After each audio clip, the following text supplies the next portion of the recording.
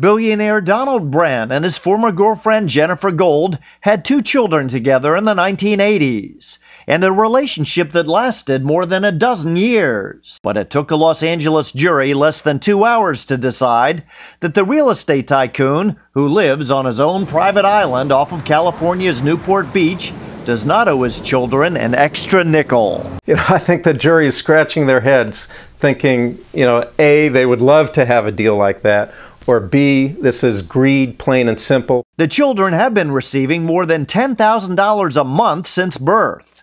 They sued claiming they are entitled to more than 130 million, including 400,000 a month because their father is the 16th wealthiest person in America, according to Forbes magazine. Their mother, Jennifer Gold, testified that she loved Donald Bren and that he promised to take care of their children forever. And she produced what she called love notes as evidence of their relationship. One reads, Happy Valentine's Day. You see, I really do care in my own way. Love, Donald.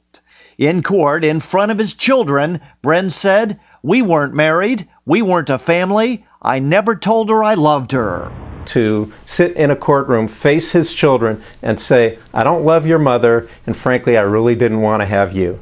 So that's the tension that's created in that courtroom. Billionaire Donald Bren chose not to even listen to the jury read his victorious verdict. The mother, Jennifer Gold, says her children will definitely appeal this case. For Good Morning America, Mike Von Fremd, ABC News, Los Angeles.